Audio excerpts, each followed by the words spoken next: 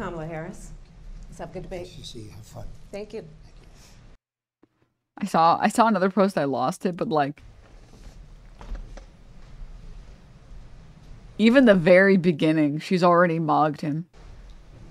Kamala Harris. Let's have a good debate. If you drew lines here,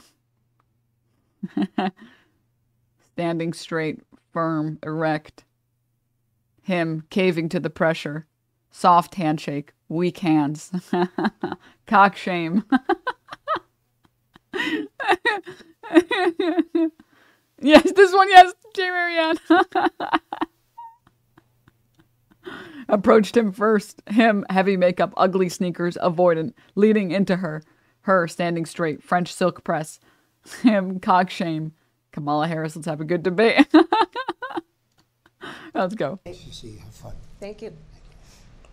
Welcome to you both. It's wonderful to have you. It's an honor to have you both here tonight. Good evening. We are looking forward to a spirited and thoughtful debate. So let's get started. I want to begin tonight with the issue that voters repeatedly say is their number one issue, and that is the economy and the cost of living in this country. Vice President Harris, you and Make it a little President. Trump were elected four years ago, and your opponent on the stage here tonight often asks his supporters, Are you better off than you were four years ago? When it comes to the economy, do you believe Americans are better off than they were four years ago? So I was raised as a middle class kid. And I am actually the only person on this stage who has a plan that is about lifting up the middle class and working people of America. Sorry, this th- one last 9/11 post posted by J. Marianne. This is too good. On this day, 23 years ago, New York City was rocked by two explosions. Some eyewitnesses alleged to be passenger planes mysteriously colliding with the World Trade Center. Nearly 3,000 people died, according to figures by the former Bush-run Department of Health.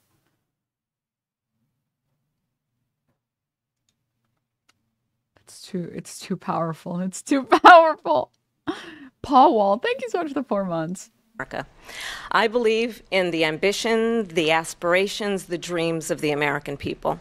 And that is why I imagine and have actually a plan to build what I call an opportunity economy.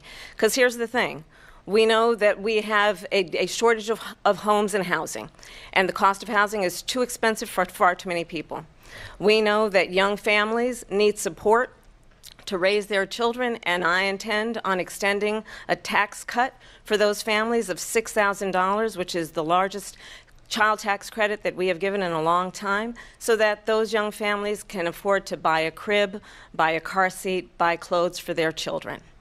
My Also, unironically, um, a child tax credit is good policy. passion, one of them, is Like,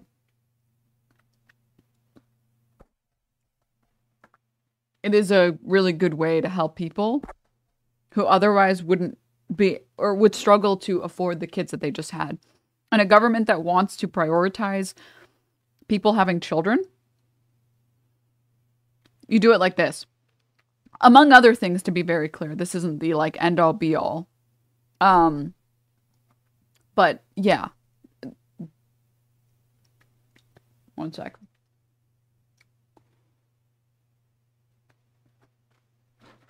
A child tax credit is a great way to incentivize people who already kind of want to have children, but they're worried about the um, financial burden. So yeah, it'd be better as a direct cash payment rather than a tax credit. Yeah, the the problem is just that like it's easier to in- issue it as a um, a tax credit. We've already done it in the past. And at the end of the day, everybody gets their what is it called? Um tax return. It can just be added on to whatever your tax return is. So Malice, thank you so much for the prime. Also, um, financially speaking, it's much easier to disperse those payments when you've just finished collecting a bunch of taxes. So it's pretty good policy. 6K doesn't do anything for a child. Hospital bills more than that. You're right. We shouldn't give people anything. We should. I'm gonna. I'm gonna call Kamala Harris right now and tell her, "Fuck you! How dare you send us pennies? We don't accept this." I'll make sure to do that. Is small businesses. I was actually, my mother raised my sister and me, but there was a woman who helped raise us. We call her our second mother. She was a small business owner. I love our small businesses. My plan is to give a $50,000 tax deduction to start up small businesses, knowing they are part of the backbone of America's economy. My opponent, on the other hand, his plan is to do what he has done before which is to provide a tax cut for billionaires and big corporations, which will result in $5 trillion to America's deficit. My opponent has a plan that I call the Trump's sales tax, which would be a 20% tax on everyday goods that you rely on to get through the month. Economists have said that that Trump sales tax would actually result for middle class families in about $4,000 more a year because of his policies and his ideas about what should be the backs of middle class people paying for tax cuts for billionaires. President Trump, I'll give you two minutes. First of all, I have no sales tax. That's an incorrect statement. She knows that. Uh, we're doing tariffs on other countries. Other countries are going to finally, after 75 years, pay I love the idea of pretending like tariffs and sales taxes are such fundamentally different concepts. pay us back for all that we've done for the world. And the tariff will be substantial in some cases. I took in billions and billions of dollars, as you know, from China. In fact, they never took the tariff off because it was so much money they can't. It would totally destroy everything that they've set out to do. They're taking in billions of dollars from China and other places. They've left the tariffs on. When I had it, I had tariffs, and yet I had no inflation. Uh, look, we've had a terrible economy because inflation has, which is really known as a country buster, it breaks up countries. We have inflation like very few people have ever seen before, probably the worst in our nation's history. We were at 21%, but that's being generous because many things are 50, 60, 70, and 80% higher than they were just a few years ago. This has been a disaster for people, for the middle class, but for every class. On top of that, we have millions of people pouring into our country from prisons and jails, from mental institutions and insane asylums, and they're coming in and they're taking jobs that are occupied right now by African Americans and Hispanics, and also unions. Unions are Her face when he said that. going to be affected very soon. And you see what's happening. You see what's happening with towns throughout the United States. You look at Springfield, Ohio. You look at Aurora I can't believe he started so strong. in Colorado. They are taking over the towns. They're taking over buildings. They're going in violently. These are the people that she and Biden led into our country, and they're destroying our country. They're dangerous. They're at the highest level of criminality, and we have to get them out. We have to get them out fast. I created one of the greatest economies in the history of our country. I'll do it again and even better. We are going to get to immigration and border security during this debate, but uh, I would like to let Vice President.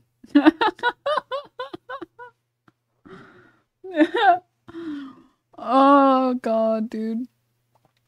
Where did this um uh rumor start?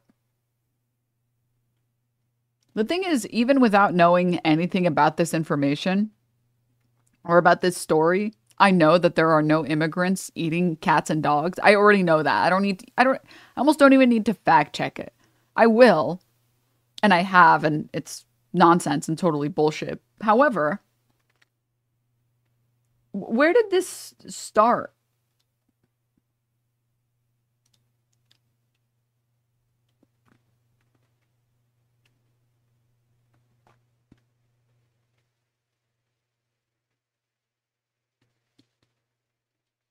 Did this start with JD Vance?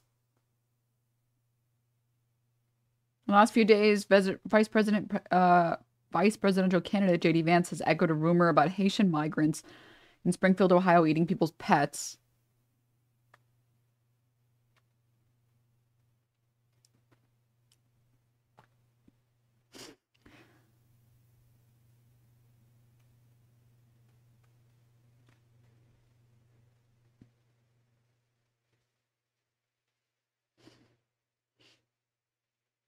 Sorry, this is so funny. I'm reading this NPR article about it. Fear and disgust over immigrant food has a long history in America. and the first example NPR uses to choose or chooses to use Italians were once written were once upon a time labeled as garlic eaters.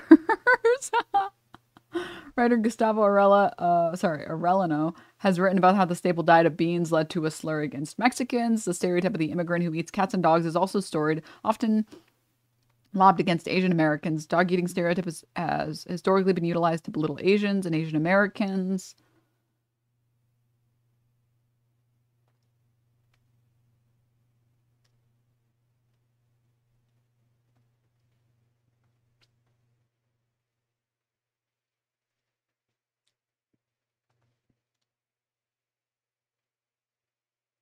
Oh, the story started because there was a video of a, of a woman in Ohio who did eat a cat. She's black, but she's an American citizen, and it was 2,000, sorry, 200 miles away from Springfield. Oh. What do you mean all black people aren't exactly the same? Huh? No, obviously she was Haitian, and obviously all of them were Haitian.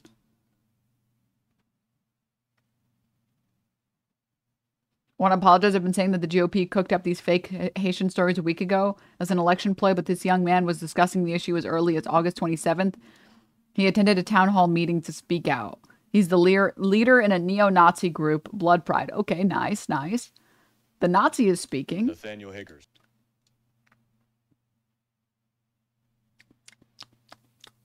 Surely everything he says will be good. Of Blood Tribe. I was at the head of the anti Haitian immigration march ah. earlier this month. I'm sure the Honorable Mr. Rob Rue recognizes me, considering he supposedly knew of our action before we even arrived. First of all, I would like to dispel the myth that you knew of our march and intentionally had no reaction or made no forewarning about it as a preventative measure. You had no more idea than the police officers or Haitians. And it's frankly insulting to our organization to make such a claim. Second, I've come to bring a word of warning. Stop what you're doing before it's too late. Crime and savagery will only increase with every Haitian you bring in and with it, think, I public frustration you and anger. You sound threatening to me. I'm going Based on the comments If I could tonight, ask the police to go ahead. I'm and sure I don't need to tell you that. Just sound threatening if you go ahead and just peacefully be removed. These people didn't ask for this, and they deserve better than to have to put up with violent, un- Thank you unruly so much. You're done. Thank you. That's all. Thank you so much. Not really. Thank you, but. Sorry, I was muted. I was eating some mangoes. Not really, thank you. Fucking got him, dude. Anyways.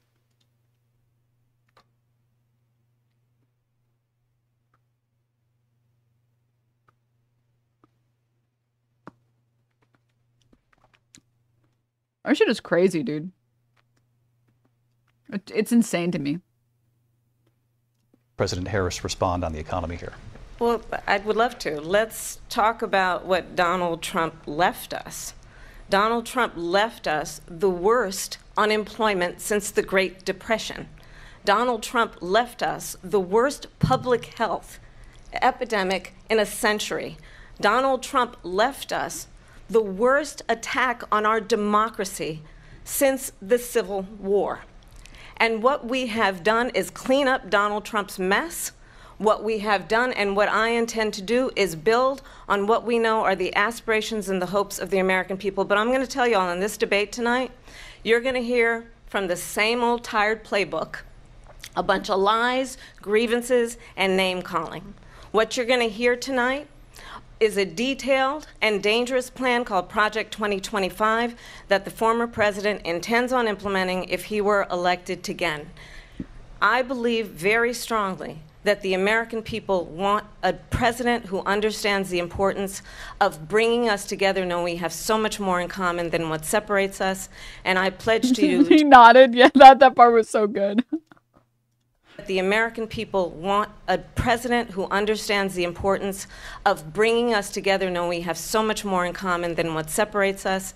And I pledge to you to be a president for all Americans. President Trump will give you a minute here to respond. Number one, I have nothing to do, as you know, and as she knows better than anyone, I have nothing to do with Project 2025. You didn't even uh, know that's about out it. there. I haven't read it. I don't want to read it purposely. I'm not going to read it. This was a group of people that got together. They came up with some ideas. I guess some good, some bad, but it makes no difference. I have nothing to do. Everybody knows I'm an open book. Everybody knows what I'm going to do. Cut taxes very substantially and create a great economy like I did before.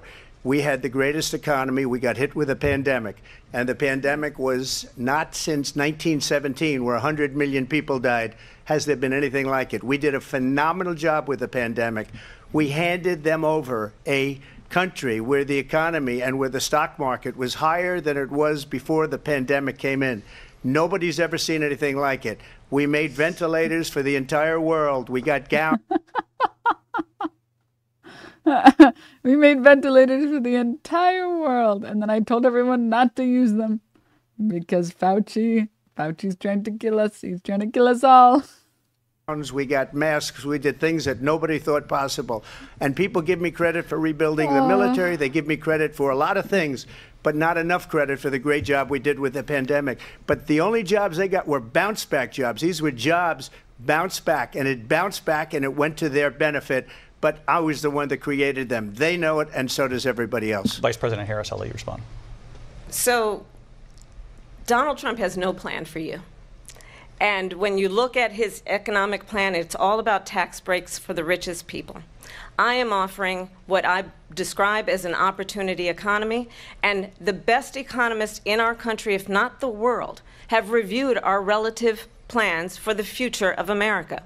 What Goldman Sachs has said is that Donald Trump's plan would make the economy worse, mine would strengthen the economy. What the Wharton School has said is Donald Trump's plan would actually explode the deficit. 16 Nobel laureates have described his economic plan as something that would increase inflation and by the middle of next year would invite a recession. You just have to look at where we are and where we stand on the issues. And I'd invite you to know that Donald Trump actually has no plan for you because he is more interested in defending himself than he is in looking out for you. That's just a soundbite. They gave her that to say. I went to the Wharton School of Finance, and many of those professors, the top professors, think my plan is a brilliant plan. It's a great plan. It's a plan that's going to bring up our, our worth, our value as a country. It's going to make people want to be able to go and work and uh, create jobs and create a lot of good, solid money for our, for our country. And just to finish off, uh, she doesn't have a plan. She copied Biden's plan, and it's like four sentences, like run, spot, run. Four sentences that are just, oh, we'll try and lower taxes. She doesn't have a plan. Take a look at her plan. I like how her describing all of the things that she's going to do is her not having her not having a plan. She doesn't have a plan. Mr. President, I do want to drill down on something you both brought up. Uh, the Vice President brought up uh, your tariffs. You responded, and let's drill down on this because your plan is what she calls is essentially a national sales tax. Your proposal calls for tariffs, as you pointed out here, on foreign imports across the board. You recently said that you might double your plan, imposing tariffs up to 20% on goods coming into this country. As you know, many economists say that with tariffs at that level, costs are then passed on to the consumer. Vice President Harris has argued it'll mean higher prices on gas, food, clothing, medication, arguing it costs the typical family nearly $4,000 a year. Do you believe Americans can afford higher prices because of tariffs? They're not going to have higher prices. What's going to have and who's going to have higher prices is China and all of the countries that have been ripping us off for years. I charge, I was the only president ever. China was paying us hundreds of billions of dollars, and so were other countries. And you know, if she doesn't like them, they should have gone out and they should have immediately cut the tariffs. But those tariffs are there three and a half years now under their administration. We are going to take in billions of dollars, hundreds of billions of dollars. I had no inflation, virtually no inflation. They had the highest inflation perhaps in the history of our country because I've never seen a worse period of time. People can't go out and buy cereal or bacon or eggs or anything else. these the people of our country are absolutely dying with what they've done. They've destroyed the economy, and all you have to do is look at a poll. The polls say 80 and 85 and even 90 percent that the Trump economy was great, that their economy was terrible. Vice President Harris, I do want to ask for your response, and you heard what the president said there, because the Biden administration did keep uh, a number of the Trump tariffs in place. So how do you respond? Well, let's be clear that the Trump administration resulted in a trade deficit, one of the highest we've ever seen in the history of America. He invited trade wars. You want to talk about his deal with China? What he ended up doing is under Donald Trump's presidency, he ended up selling American chips to China to help them improve and modernize their military, basically sold us out when a policy about China should be in making sure the United States of America wins the competition for the 21st century, which means focusing on the details of what that requires, focusing on relationships with our allies, focusing on investing in American based technology so that we win the race on AI, on quantum computing, focusing on what we need to do to support America's workforce so that we don't end up having, the, the, on the short end of the stick, in terms of workers' rights. But what Donald Trump did, let's talk about this, with COVID, is he actually t- thanked President Xi for what he did during COVID. Look at his tweet. Thank you, President Xi, exclamation point, when we know that Xi was responsible for lacking and not giving us transparency about the origins of COVID. President Trump, I'll let you respond. First of all, they bought their chips from Taiwan. We hardly make chips anymore because of uh, philosophies like they have and policies like because of philosophies like they have. They have. I don't say her because she has no policy. Everything that she believed three years ago and four years ago is out the window. She's going to my philosophy now. In fact, I was going to send her a MAGA hat. She's gone to my philosophy. But if she ever got elected, she'd change it. And it will be the end of our country. She's a Marxist. Everybody knows she's a Marxist. Her father's a Marxist professor in economics, and he taught her well. But when you look at what she's done to our country, and when you look at these millions and millions of people that are pouring into our country monthly, where it's, I believe, 21 million people, not the 15 that 21 million. people say. Dude, and I fuck it. Go billion, dude. 21 billion people. Go crazy, dude. I think it's a lot higher than the 21. That's bigger than New York State pouring in. And just look at what they're doing to our country. They're criminals. Many of these people coming in are criminals. And that's bad for our economy, too. You know, you mentioned before, we'll talk about immigration later. Well, bad immigration is the worst thing that can happen to our economy. They have, and she has, destroyed our country with policy that's insane. Almost policy that you'd say they have to hate our country. President Trump, thank you. Linsey? I want to turn to the issue of abortion. President Trump, you've often touted that you were able to kill Roe v. Wade. Last year, you said that you were proud to be the most pro life president in American history. Then last month, you said that your administration would be great for women and their reproductive rights. In your home state of Florida, you surprised many uh, with regard to your six week abortion ban because you initially had said that it was too short. And you said, quote, I'm going to be voting that we need more than six weeks. But then the very next day, you reversed course and said you would vote to support the six week ban. Vice President Harris says that women shouldn't trust you on the issue of, of, abortion because you've changed your position so many times.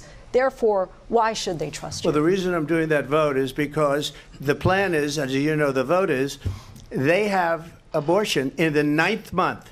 They even have, and you can look at the governor of West Virginia, the previous.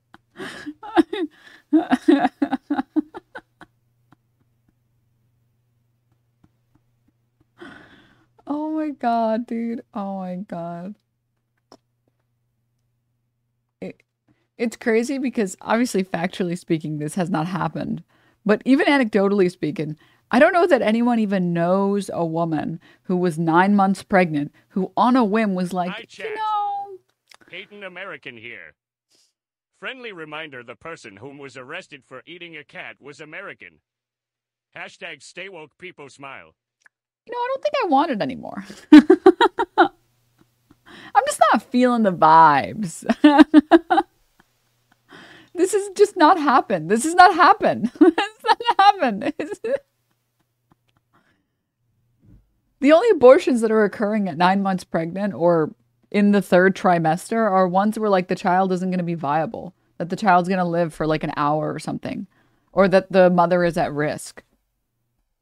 That giving birth or trying to go through with the pregnancy or the um the birth would uh, be a significant detriment to the mother's health.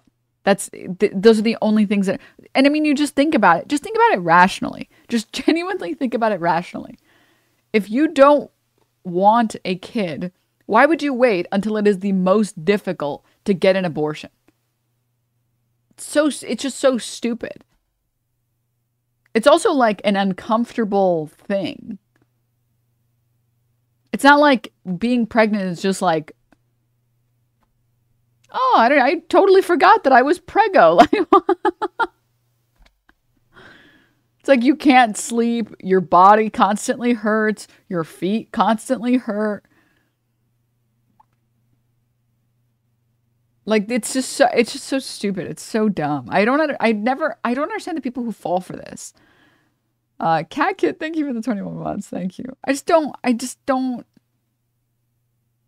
like genuinely, who is falling for this? Who is falling for this propaganda?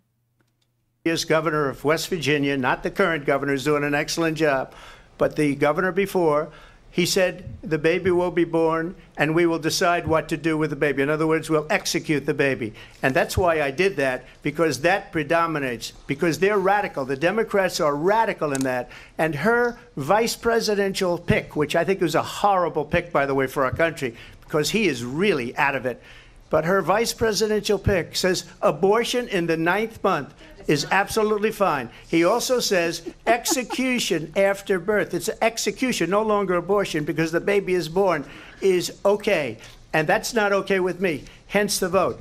But what I did is something for 52 years they've been trying to get Roe v. Wade into the states.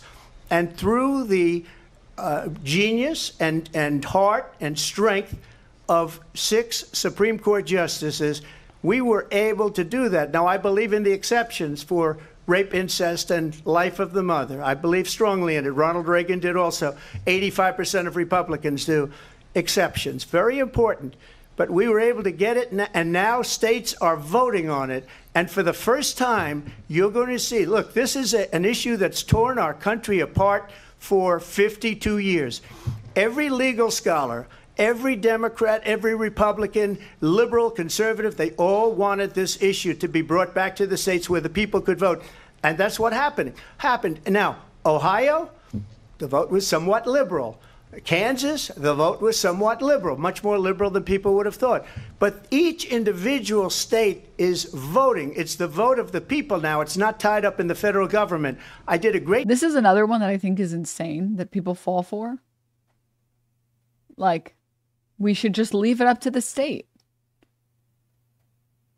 I, I can't even believe people fall for it for half of a second great service in doing it. It took courage to do it. And the Supreme Court had great courage in doing it. And I give tremendous credit to those six justices. There is no state in this country where it is legal to kill a baby after it's born. Madam Vice President, I want to get your response to President Trump. Well, as I said, you're going to hear a bunch of lies, and that's not actually a surprising fact. Let's understand how we got here. Donald Trump hand selected three members of the United States Supreme Court with the intention that they would undo the protections of Roe v. Wade. And they did exactly as he intended. And now, in over 20 states, there are Trump abortion bans, which make it oh, sorry. criminal. Sorry about that. I didn't even notice. For a doctor or nurse to provide health care in one state, it provides prison for life. Trump abortion bans that make no exception even for rape and incest, which understand what that means. A survivor of a crime of violation to their body does not have the right to make a decision about what happens to their body next. That is immoral. And one does not have to abandon. Not gonna lie, she's actually super spitting on this front. It's it's insane to me that no that there are people out there that think that they are so entitled to other people's opinions or like other people's lives that they're fine with having someone carry a child to term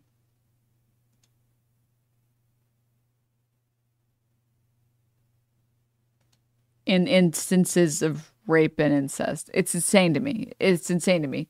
It's so obvious, like to any sane, normal human being, that that is such a huge violation of someone's like bodily autonomy. Especially in the case of children. Like that shit is crazy. It's so insane. And there are still people out there that are like, no, I'm right. Mm-mm. No. Me as someone with no skin in the game, I'm right. It's just so, it's just, it's, I don't, I, their faith or deeply held beliefs to agree. The government and Donald Trump certainly should not be telling a woman what to do with her body. I have talked with women around our country. You want to talk about this is what people wanted? Pregnant women who want to carry a pregnancy to term, suffering from a miscarriage, being denied care in an emergency room because the healthcare providers are afraid they might go to jail, and she's bleeding out in a car in the parking lot. She didn't want that. Her husband didn't want that. A 12 or 13 year old survivor of incest being forced to carry a pregnancy to term.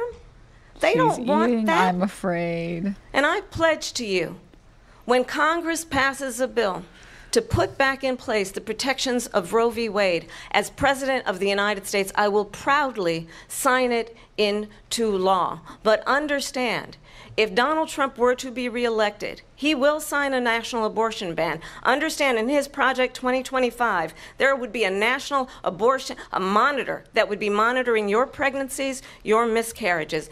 I think the American people believe Not gonna lie, this is a good amount of fear mongering. that certain freedoms, in particular the freedom to make decisions about one's own body, should not be made by the government. Thank you, Vice President Harris. Well, there she goes again. It's a lie.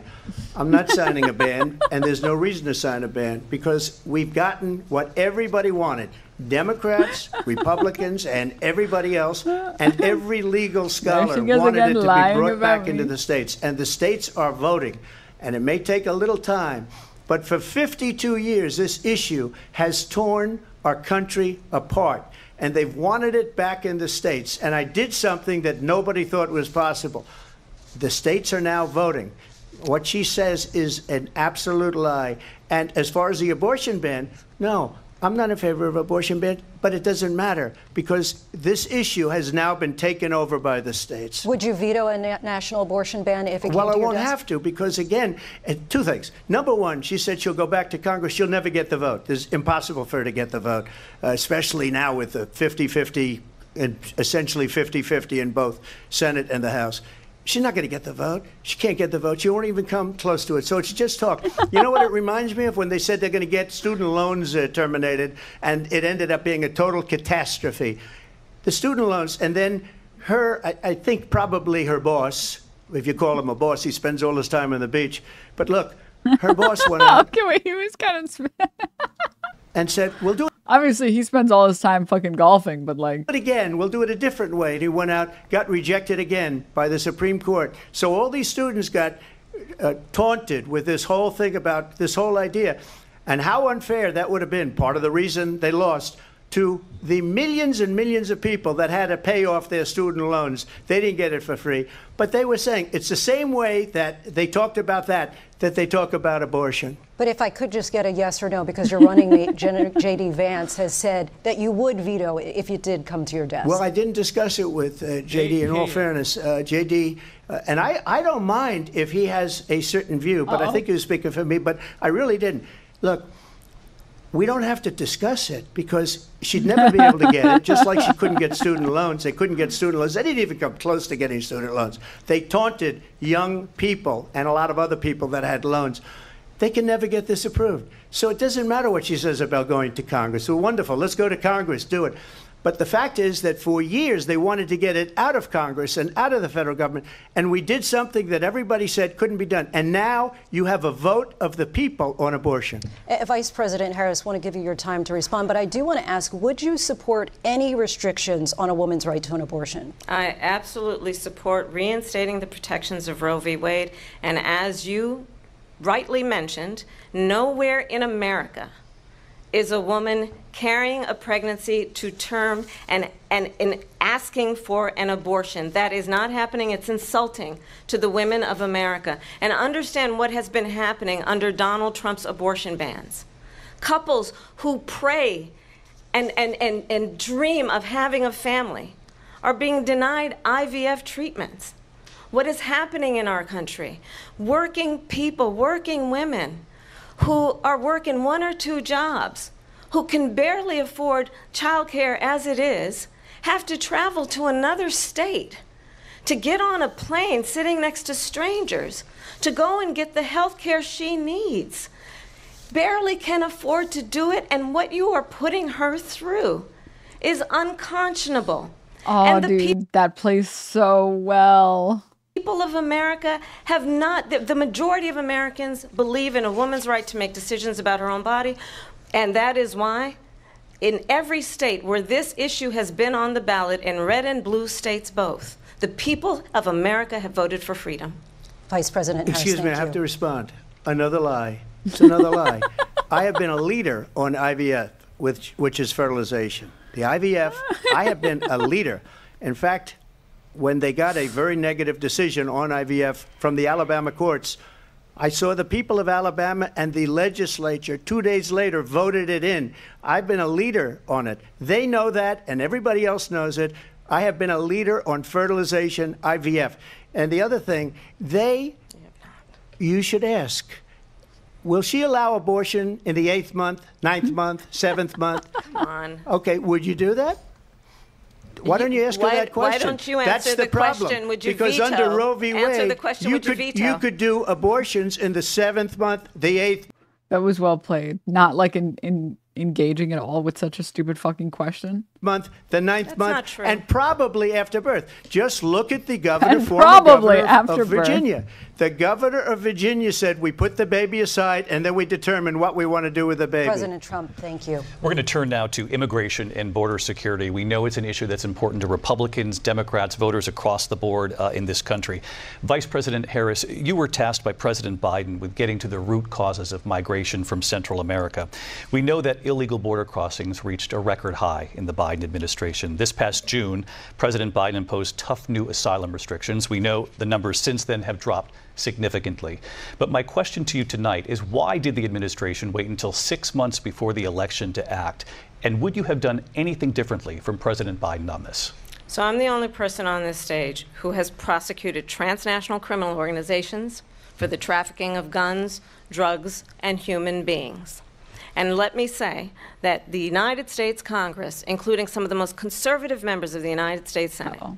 came up with a border security bill which I supported. And that bill would have put 1,500 more border agents on the border to help those scared. folks who are working there right now overtime trying to do their job. It would have allowed us to stem the flow of fentanyl coming into the United States. I know there are so many families watching tonight who have been personally affected by the surge of fentanyl in our country. That bill would have put more resources to allow us to prosecute transnational criminal organizations for trafficking in guns, drugs, and human beings. But you know what happened to that bill? Donald Trump got on the phone, called up some folks in Congress, and said, kill the bill. And you know why? Because he'd prefer to run on a problem instead of fixing a problem. And under- I mean, that's pretty. That's pretty good messaging. understand, this comes at a time That part, anyways. Where the people of our country actually need a leader who engages in solutions, who actually addresses the problems at hand. But what we have in the former president is someone who would prefer to run on a problem instead of fixing a problem. And I'll tell you something, he's going to talk about immigration a lot tonight, even when it's not the subject that is being raised. And I'm going to actually do something really unusual, and I'm going to invite you to attend one of Donald Trump's rallies, because it's a really interesting thing to watch. You will see during the course of his rallies, he talks about fictional characters like Hannibal Lecter. He will talk about windmills cause cancer. And what you will also notice is that people start leaving his rallies early out of exhaustion and boredom. This and I will was- tell She cooked him so hard with this. He's so mad. Tell you the one thing you will not He's hear him so talk mad. about is you. You will not hear him talk about your needs, your dreams, and your need, and your desires. And I'll tell you, I believe you deserve a president who actually puts you first, and I pledge to you that I will. Vice President Harris, thank you. President Trump, on that point, I want to get your response. Well, I would like to respond. Let me just ask, though, why did you try to kill that bill, and successfully so? That would have put thousands of additional agents and officers on the border. First, let me respond to You got it, bro. Don't answer the question. She said people start leaving. People don't go to her rallies. There's no reason to go. and the people that do go, she's bussing them in and paying them to be there and then showing them in a different light. So she can't talk about that. People don't leave my rallies. We have the biggest rallies, the most incredible rallies in the history of politics. That's because people want to take their country back. Our country is being lost. We're a failing nation. And it happened three and a half years ago. And what what's going on here, you're going to end up in World War III, just to go into another subject. What they have done to our country by allowing these millions. Dude, she baited the shit out of him. Oh my god. And he fucking fell for it completely, totally. And millions of people to come into our country and look at what's happening to the towns all over the United States. And a lot of towns don't want to talk. It's not going to be Aurora or Springfield. A lot of towns don't want to talk about it because they're so embarrassed by it. In Springfield, they're eating the dogs, the people that came in. They're eating the cats. They're eating they're eating the pets. This is a totally good response from her, by the way. I know she had like a lot of practice and training, but like laughing at, at like insanity is the perfect response. Not engaging at all and being like, this is fucking ridiculous. People that live there. And this is what's happening in our country. And it's a shame. As far as rallies are concerned, as far as the reason they go is they like what I say. They want to bring our country back. They want to make America great again. It's a very simple phrase make America great again. She's destroying this country. And if she becomes president, this country doesn't have a chance of success. Not only success, we'll end up being Venezuela on steroids. I just want to clarify here. You bring up Springfield, uh, Ohio, and, and, ABC News did reach out to the city manager there. Uh, he told us there have been no credible reports of specific claims of pets being harmed, injured, or abused by individuals within the immigrant community. Well, All I've this, seen people on television. Let me just say here, this is the, the people on television say my dog was taken and used for food. So Maybe he said that, and maybe that's a good yeah. thing to say for a city manager. I'm not taking this from but television. But the people I'm on television saying their dog was eaten by the people that went there. Again, the Springfield city manager says there's no evidence of that. Vice we'll President Harris, out. I'll let you respond to the rest we'll of it. We'll find out. you talk about extreme. uh, Such a good response. Such a good response you know, I this is I think one of the reasons why in this election I actually have the endorsement of 200 Republicans who have formally worked with President Bush, Mitt Romney, and John McCain, including the endorsement of former Vice President Dick Cheney and Congress member Liz Cheney. Cheney and if you want to really know the inside track on who the former president is, if he didn't make it clear already, just mm, Penzios, thank you so much for the gift sub. Thank you. Thank you. Ask people who have worked with him. His former chief of staff, a four star general, has said he has contempt for the Constitution of the United States. His former national security advisor has said he is dangerous and unfit. His former Secretary of Defense has said the nation, the Republic, would never survive another Trump term. And when we listen to this kind of rhetoric when the issues that affect the American people are not being addressed, I think the choice is clear in this election. President Trump, I'll give you a quick minute to respond yeah. here. Uh, thank you, because when I hear that, see, I'm a different kind of a person. I fired most of those people, not so graciously. They did bad things or a bad job. I fired them. They never fired one person. They didn't fire anybody having to do with Afghanistan and the Taliban and the 13 people who. She's violently killed.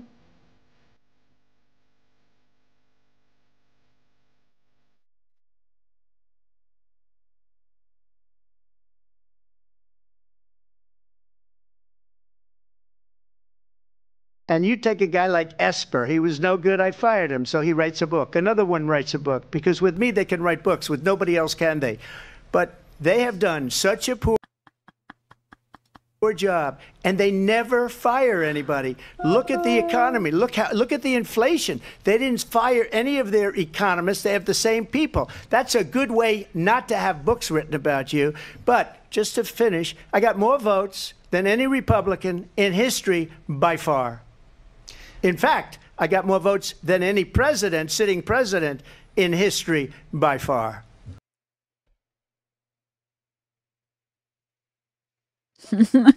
Literally total lie. Let me continue on immigration. Even when he beat Hillary Clinton, he still lost in vote count. It was what you wanted He to talk about earlier. So let's get popular back to your deportation uh, uh, proposal that the vice president has reacted to as well.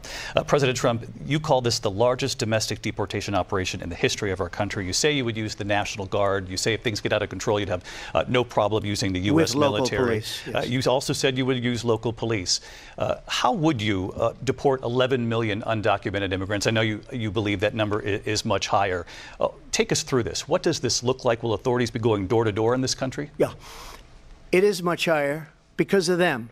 They allowed criminals, many, many millions of criminals. Millions. They allowed terrorists. They allowed common street criminals. They allowed people to come in, drug dealers, to come into our country. And they're now in the United States and told by their countries like Venezuela, don't ever come back or we're going to kill you. Do you know that crime in Venezuela and crime in countries all over the world is way down? You know why? Because they've taken their criminals off the street and they've given them to her to put into our country. And this will be one of the greatest mistakes in history for them to allow. And I think they probably did it because they think they're going to get votes, but it's not worth it because they're, they're destroying the fabric of our country by what they've done. There's never been anything done like this at all. They've destroyed the fabric of our country. Millions of people let in, and all over the world, crime is down all over the world except here. Crime here is up and through the roof, despite their fraudulent statements that they made. Crime in this country is through the roof. And we have a new form of crime. It's called migrant crime. and it's happening at levels that nobody We're thought back on possible. migrant President Trump, as you know, the FBI says overall violent crime is actually coming down in this country. Dude, but these Vice- moderators, these are probably the best moderators that have ever existed for a fucking debate ever in the history of ever. Excuse me, President the Harris, I'll FBI give you the- defraud. They were defrauding statements. They they didn't include the worst cities. They didn't include the cities with the worst crime. It was a, a fraud, just like their number of 818,000 jobs that they said they created turned out to be a fraud. President Trump, thank you. I'll let you respond, Vice President Harris.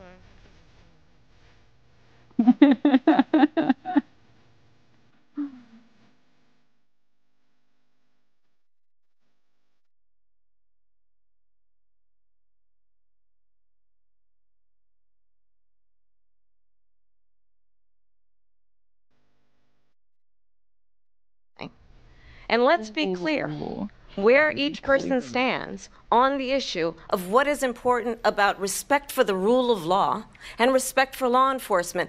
The former vice president called for defunding federal law enforcement, 45,000 agents, get this, on the day after he was arraigned on 34 felony counts. So let's talk about what is important in this race. It is important that we move forward, that we turn the page on this same old tired rhetoric and address the needs of the American people, address what we need to do about the housing shortage, which I have a plan for, address what we must do to support our small businesses, address bringing down the price of groceries. But frankly, the American people are exhausted with this same old tired playbook. Vice President Harris, thank you. Excuse me. Excuse Every me. one of those Excuse me. cases was started by them against their political opponent. And I'm winning most of them, and I will win the rest on appeal. And you saw that with the decision that came down just recently. Left with look at that date. I like how he's literally a convicted felon and he's like, I'm winning most of them. I'm winning most of them. I'm really winning. I'm winning a lot of them. Recently from the Supreme Court. I'm winning most of them. But those are cases, it's called weaponization. Never happened in this country. They weaponized the Justice Department. Every one of those cases was involved with the DOJ, from Atlanta and Fani Willis to, to the uh, Attorney General of New York and the DA in New York. Every one of those cases. And then they say, oh, he was he's a criminal. Oh. They're the ones that made them go after me. By the way, Joe Biden was found essentially guilty on the documents case. And what happened in my documents case? They said, oh, that's the toughest of them all. A complete and total victory. Two months ago, it was thrown out. It's weaponization, and they used it, and it's never happened in this country. They used it to try and win an election. President They're Trump, fake cases. President Trump, thank you. A really quick response here, Vice President Harris, on this notion of weaponization of the Justice Department. Well, let's talk about extreme and understand the context in which this election in 2024 is taking place. The United States Supreme Court recently ruled that the former president would essentially be immune from any misconduct if he were to enter the White House again. Understand, this is someone with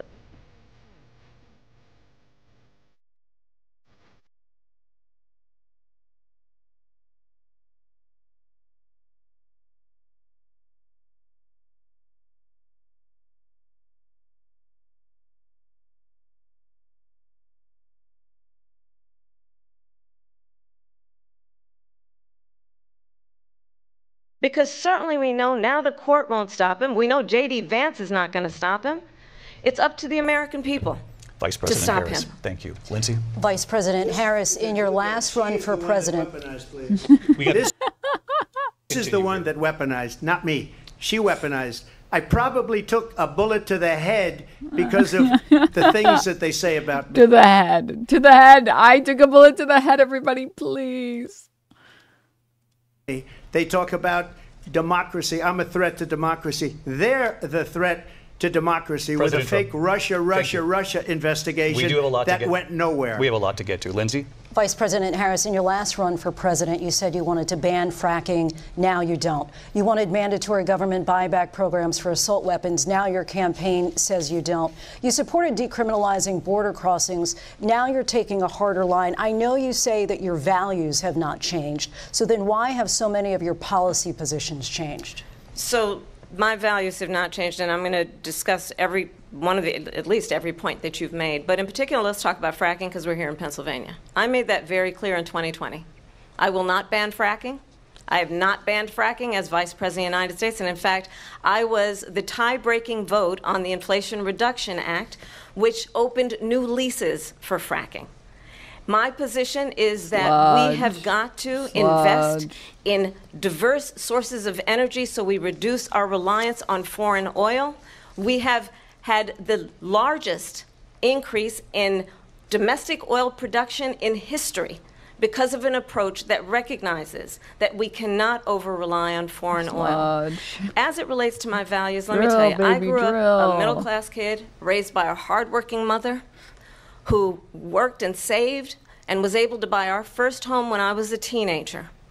The values I bring to the importance of home ownership, knowing not everybody got handed $400 million on a silver platter and then filed bankruptcy six times, is a value that I bring to my work to say we are going to work with the private sector and home builders to increase 3 million homes, increase by 3 million homes by the end of my first term.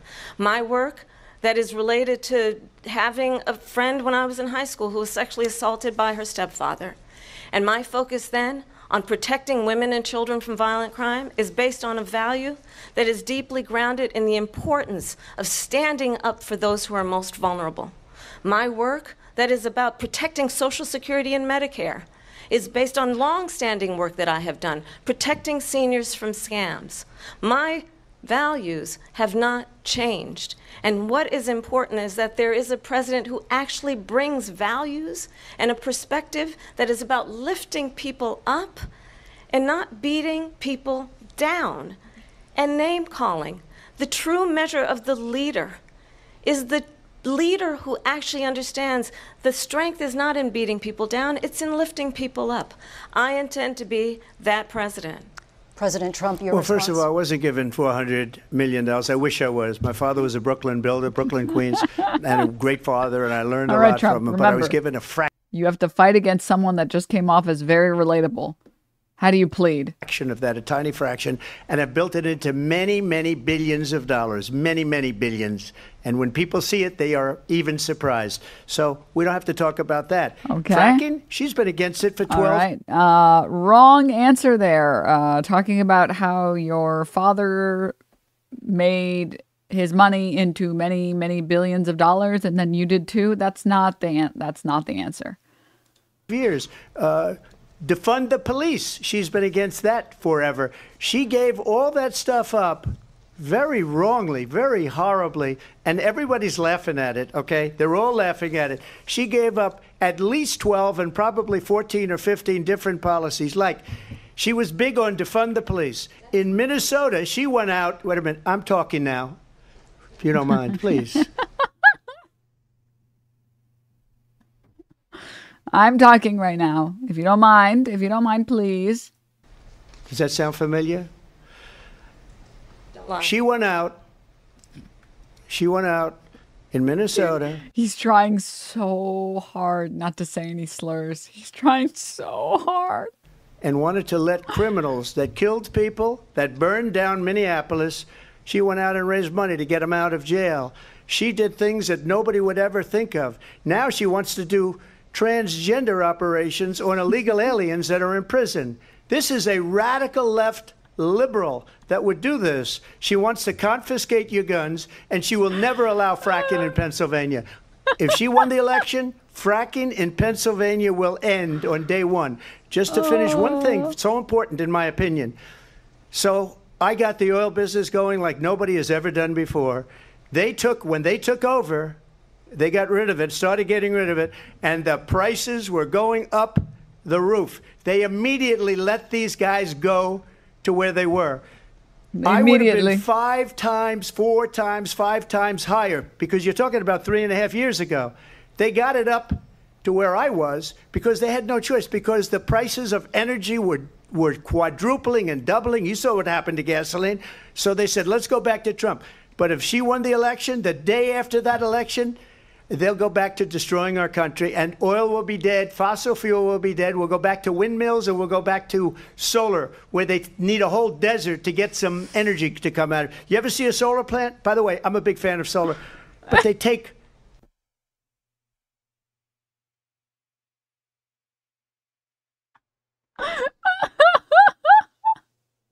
Solar fucking sucks. But by the way, I'm a big fan of solar. You ever see one? You ever see one? You ever see a solar? Ever see one? 400, President Trump. 500 acres of desert President soil. Trump, we have a These lot are of not good things we for the have to get environment, to. as We're she out of time. understands. Thank you. Linsey, thank you. We have an election in just 56 days. And I want to talk about the peaceful transfer of power, which, of course, we all know is a cornerstone of our democracy, and the role of a president uh, in a moment of crisis. Uh, Mr. President, on January 6th, you told your supporters to march to the Capitol. You said you would be right there with them. Uh, the country and the world saw what played out at the Capitol that day, the officers coming under attack. Aides in the West Wing say you watched it unfold on television off the Oval Office. Uh, you did send out tweets, but it was more than two hours before you sent out that video message uh, telling your supporters to go home. Is there anything you regret about what you did on that day? You just said a thing that isn't covered. Peacefully and patriotically, I said during my speech, not later on. Peacefully and patriotically. And nobody on the other side was killed. Ashli Babbitt was shot by an out of control police officer that should have never, ever Trump shot ACAP? Trump ACAP? her. Defund the it's a disgrace. But we didn't do this group of people that have been treated so badly. I ask, what about all the people that are pouring into our country and killing people that she allowed to pour in? She was the border czar. Remember that. She was the border czar. She doesn't want to be called the border czar because she's embarrassed by the border. In fact, she said at the beginning, "Oh, I'm surprised you're not talking about the border yet." Dude, That's the moderator is about to fucking eat the fuck up. Sorry, spoilers. because she knows what a bad job they've done. What about those people? What's, when are they going to be prosecuted? When are these people from countries all over the world, not just South America? They're coming in from all over the world, David, all over the world. And crime rates are down all over the world because of it. But let me but just are you- those, David, when are those people going to be prosecuted? When are the people that burned down Minneapolis going to be prosecuted? Or in Seattle? They went into Seattle, they took over a big percentage of the city of Seattle. When are those people going to be prosecuted? But let me just ask You You might ask her that question. You were the president. You were watching it unfold on television. It's a very simple question as we move forward toward another election. Is there anything you regret about what you did on that day? Yes, sir. I had nothing to do with that other than they asked me to make a speech. I showed up for a speech. I said, I think it's going to be big. I went to Nancy Pelosi and the mayor of Washington, D.C., and the mayor put it back in writing, as you know. I said, you know, this is going to be a very big rally or whatever you want to call it. And again, it wasn't done by me, it was done by others. I said, I'd like to give you 10,000 National Guard or soldiers. They rejected me. Nancy Pelosi rejected me. It was just two weeks ago. Her daughter has a tape of her saying she is fully responsible for what happened. They want to get rid of that tape. It would have never happened if Nancy Pelosi and the mayor of Washington did their jobs. I wasn't responsible for security. Nancy Pelosi was responsible. She didn't do her job. The question was about you as president, not about former Speaker Pelosi, but I do want Vice President Harris to respond here. I was at the Capitol on January 6th. I was the vice president elect. I was also. Uh, Mr. President, please, uh, Mr. Mr. President, please uh, respond to the question. Well, do you regret anything? Uh, I just want to yes, quick yes or no. Do you do, did you do you regret anything? Do you, just a quick yes or no? Do you regret? You don't regret anything? Okay, got it. So an acting senator. I was there. And on that day, the President of the United States incited a violent mob to attack our nation's capital, to desecrate our nation's capital. On that day, 140 law enforcement officers were injured, and some died. And understand, the former president has been indicted and impeached for exactly that reason. But this is not an isolated situation. Let's remember Charlottesville, where there was a mob of people carrying tiki torches, spewing anti Semitic hate.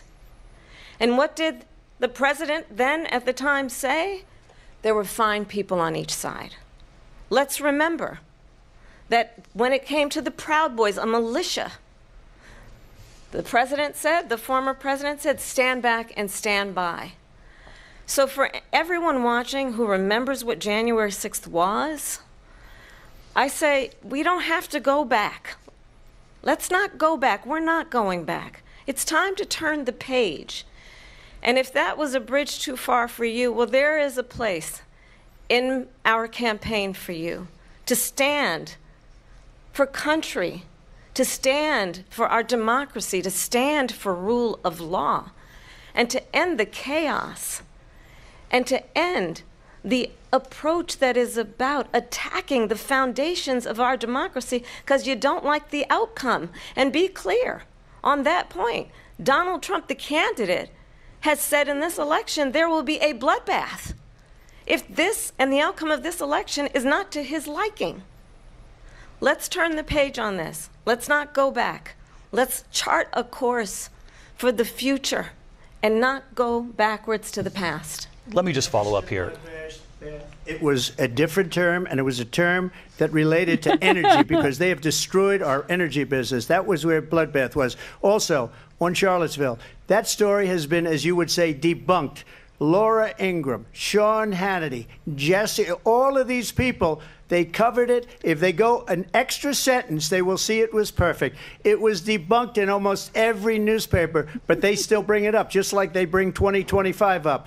They bring all of this stuff up. I ask you this you talk about the Capitol. All my friends Why say are we allowing nothing wrong. these millions of people to come through on the southern border? How come she's not Ah, doing it? yes, reliable source, Lord, reliable source, Lauren Southern. That definitely didn't take Russian money. And I'll tell you what I would do, and I would be very proud to do it. I would say we would both leave this debate right now. I'd like to see her go down to Washington, D.C. during this debate because we're wasting a lot of time. Go down to, because she's been so bad, it's so ridiculous. Go down to Washington, D.C. and let her sign a bill to close up the border because they have the right to do it. They don't need bills. They have the right to do it. The President of the United States, you'll get him out of bed, you'll wake him up at 4 o'clock in the right. afternoon, you'll say, come on, come on down to the office, let's sign a bill. If he if he signs a bill that the border is closed, all he has to do is say it to the border patrol, who are phenomenal. If they do that, the border is closed. Mr. Those President, people are killing many people, wanna- unlike J6. Uh, We talked immigration here tonight. I do want to focus on this next issue to both of you because it really brings us uh, this into focus truth uh, in these times that we're living in. Uh, Mr. President, for three and a half years after uh, you lost the 2020 election, you repeatedly uh, falsely claimed that you won, many times saying you won in a landslide. In the past couple of weeks leading up to this debate, uh, you have said, quote, you lost by a whisker, that you, quote, didn't quite make it, that you This came up a part little is bit so good. short. I are said you, that? Are you now acknowledging? I said that. I, do, no, you must be thinking of someone else. I would never say that. I would never say that. that you lost in 2020. No, 2020. I don't acknowledge that at all. But I you said did that say that. sarcastically. But You know those- that. It was said, oh, we lost by a whisker. That was said sarcastically. Look, there's so much proof. All you have to do is look at it. And they should have sent it back to the legislatures for approval. I got almost 75 million votes, the most votes any sitting president has ever gotten. I was told if I got 63, which was what I got in 2016, you can't be beaten. Uh, the election, people should never be thinking about an election as fraudulent. We need two things. We need walls, we need, and we have to have it. We have to have borders, and we have to have good elections. Our elections are bad. And a lot of these illegal immigrants coming in, they're trying to get them to vote. They can't even speak English. They don't even know what country they're in practically. And these people are trying to get them to vote. And that's why they're allowing them to come into our country. I did watch all of these pieces of video. I, I didn't detect the sarcasm, lost by a whisker. We didn't quite make it. And we should just point out here as clarification, and you know this, uh, you and your allies, 60 cases in front of many judges, many of them No judge looked at it. and said they said no we didn't have standing. fraud. Uh, That's the other thing. They said we didn't have standing, a technicality. Can you imagine a system where a person in an election doesn't have standing? The president of the United States doesn't have standing. That's how we lost. If you look at the facts, and I'd love to have you, you'll do a special on it. I'll show you Georgia, and I'll show you Wisconsin, and I'll show you Pennsylvania, and I'll show you. We have so many facts and statistics, but you know what? That doesn't matter because we have to solve the problem that we have right now. That's old news. And the problem that we have right now is we have a nation in decline, and they have put it into decline. We have a nation that is dying, David. Mr. President, thank you. Uh, Vice President Harris, uh, you heard the president there tonight. He said he didn't say that, that he lost by whisker. So he still uh, believes uh, he did not lose the election uh, that was won by President Biden uh, and yourself.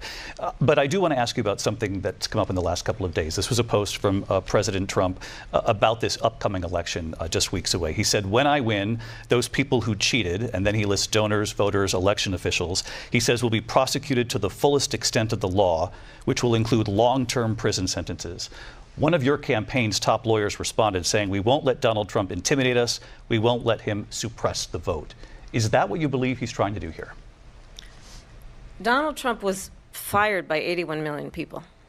So let's be clear about that. And clearly, he is having a very difficult time processing that.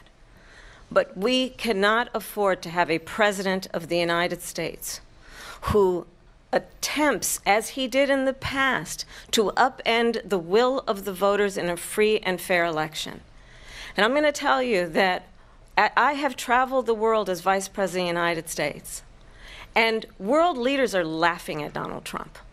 I have talked with military leaders, like some of whom one. worked He with didn't you, like it. and they say you're a disgrace. And when you then talk in this way in a presidential debate and deny what over and over again are court cases you have lost because you did, in fact, lose that election, it leads one to believe that perhaps we do not have in the candidate to my right the temperament or, or the ability to not be confused about fact. That's deeply troubling, and the American people deserve better. I'll give you one minute to respond, Mr. President. Let me just tell you about world leaders. Viktor Orban, one of the most respected men, they call him a strong man. He's a, he's a tough person, smart. Viktor Orban, he Prime loves Minister me. of Hungary. He loves they said, me. why is the whole world blowing up? Three years ago it wasn't. Oh, why is it blowing up? He said, because you need Trump back as president. They were afraid of him. China was afraid, and I don't like to use the word afraid, but I'm just quoting him. China was afraid of him. North Korea was afraid of him. Look at what's going on with North Korea, by the way. Oh. He said Russia was afraid of him. I ended the Nord Stream 2 pipeline, and Biden put it back on day one, but he ended the XL pipeline. the XL pipeline in our country. He ended that. But he let the Russians build a pipeline going all over Europe and heading into Germany, the biggest pipeline I'm grabbing a snack. in the world. Look, Viktor Orban said it. He said the most respected, most feared person is Donald Trump. We had no problems when Trump was president, but when this weak, pathetic man that you saw at a debate just a few months ago, that if he weren't in that debate, he'd be running instead of her. She got no votes. He got 14 million votes. What you did, you talk about a threat to democracy. He got 14 million votes and they threw him out of office. And you know what? I'll give you a little secret. He hates her. He can't stand her. But Mr. he President. got 14 million votes. They threw him out. She got zero votes. And when she ran, she was the first one to leave because she failed.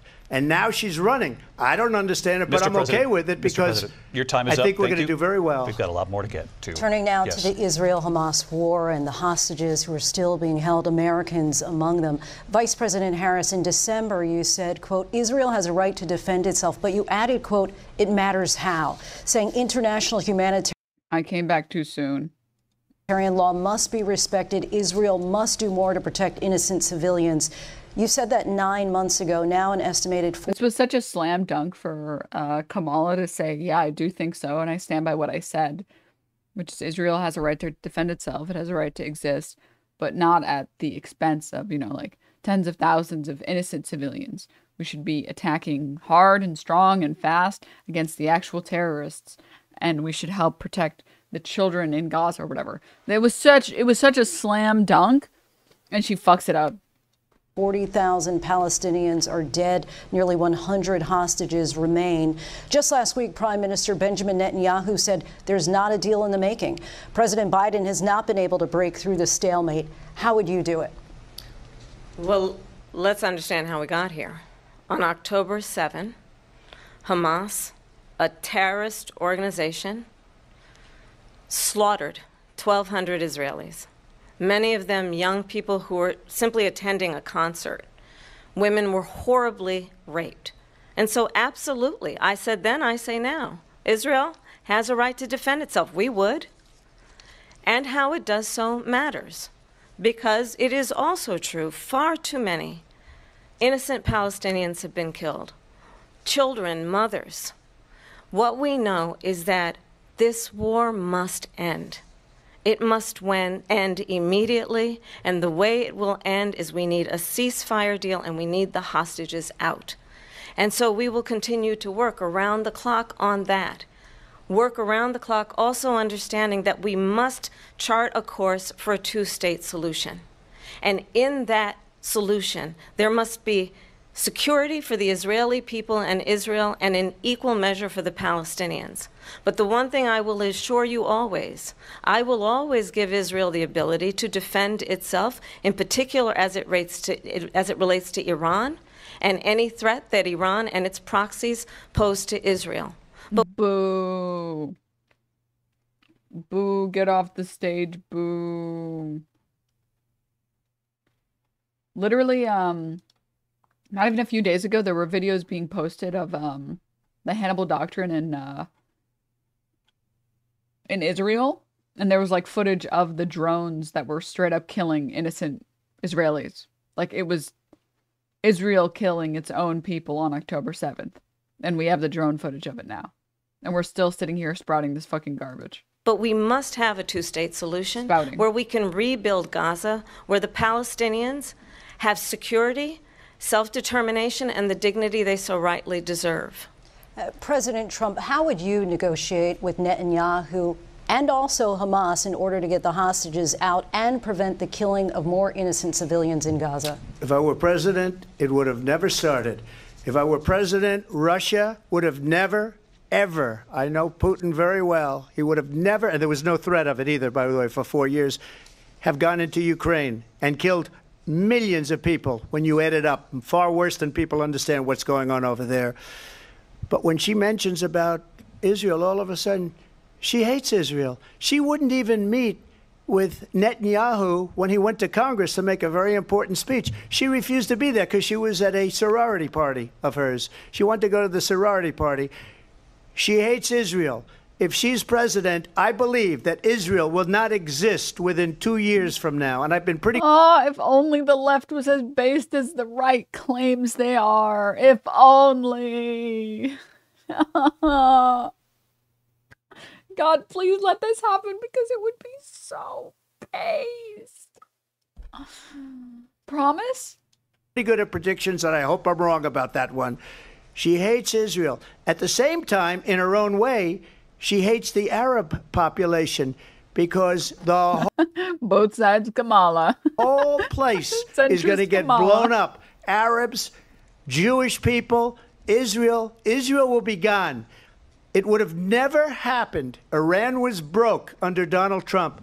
Now Iran has $300 billion because they took off all the sanctions that I had. Iran had no money for Hamas or Hezbollah or any of the 28 different uh, spheres of terror, and they are spheres of terror, horrible terror.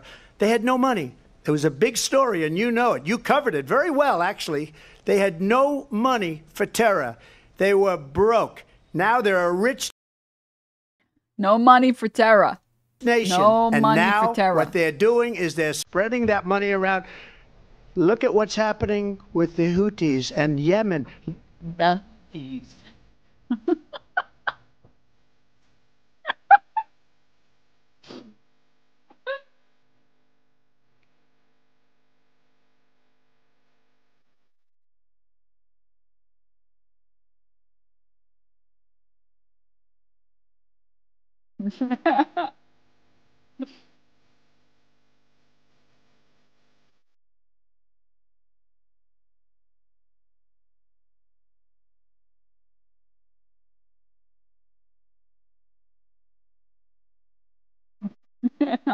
Weak and wrong. Can you believe it? Can you believe the shit that she's saying about me?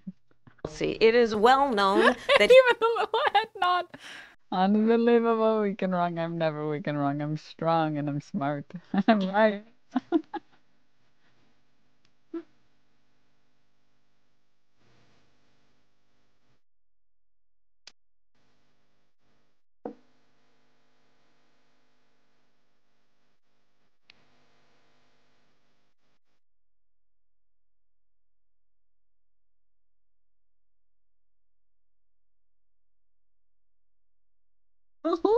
and it love letters?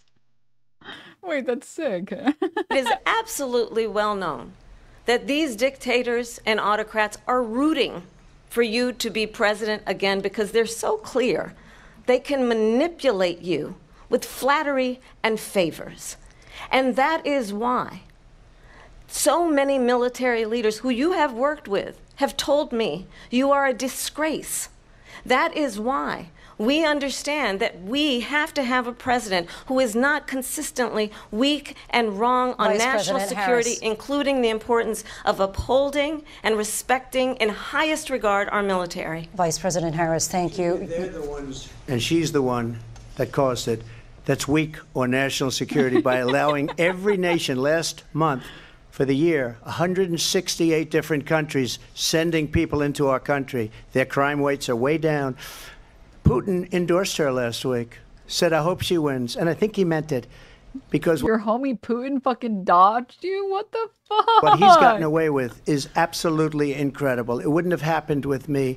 The leaders of other countries think that they're weak and incompetent, and they are. They're grossly incompetent. And I just ask one question why does Biden go in and kill the Keystone pipeline? And approve the single biggest deal that Russia's ever made, Nord Stream 2, the biggest pipeline anywhere in the world going to Germany and all over Europe, because they're weak and they're ineffective. And Biden, by the way, President gets paid Trump, a lot of money. Thank you. We have a lot of issues to get to. We'll be right back with much more of this historic ABC News.